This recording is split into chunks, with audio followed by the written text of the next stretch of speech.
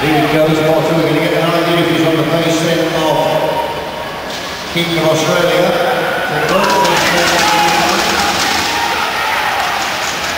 He's point four off the pace of the Aussie. He's going to have to find something here. What's he got left in the tank for the final lap?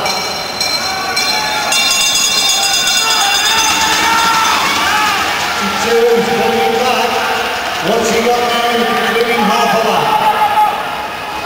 Where be won or lost. Here he comes. Not to do it.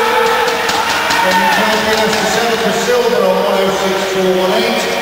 And uh, Kenny Williams, United States,